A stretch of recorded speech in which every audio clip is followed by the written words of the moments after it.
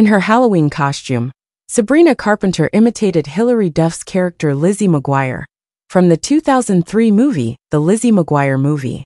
The 25-year-old pop sensation looked amazing as she dressed up as Lizzie and displayed her Halloween costume, an igloo dress. According to the source, she declared she intended to dress up in the costume six years prior to the current ensemble.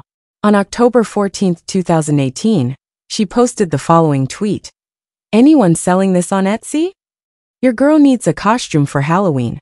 On her Instagram and TikTok pages, Sabrina unveiled her outfit, which was a perfect copy of the classic ensemble. Her Halloween 2024 costume was her fourth appearance. She had previously worn Sandy from Grease, Tinkerbell, and a Playboy bunny. When Lizzie McGuire travels to Rome, Italy, she mistakenly believes she is Isabella Parigi, a pop star.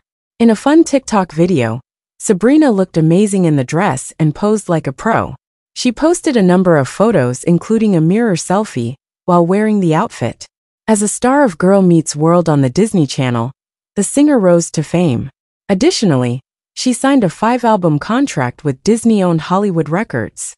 As the opening act for Taylor Swift's The Eras tour in 2023, Sabrina shot to fame. Additionally, wearing a silver sequin top and matching skirt, Sabrina looked like Tinkerbell. The stunning platform heels and lit-up wings that the blonde beauty added were the ideal finishing touches for the ensemble. In her Playboy costume, which included a black leotard with cuffs and a bow tie, crimson lipstick, and tousled hair, Sabrina looked amazing. Sandy from Grease was her final outfit choice.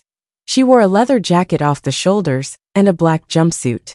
In the 1978 film Grease, John Travolta played Danny and Olivia Newton-John played Sandy. Days after her ex-boyfriend Shawn Mendes came out about his sexual orientation, she had her Halloween outbursts. The truth about my life and my sexuality is that, man, I'm just figuring it out like everyone else, he said to his followers.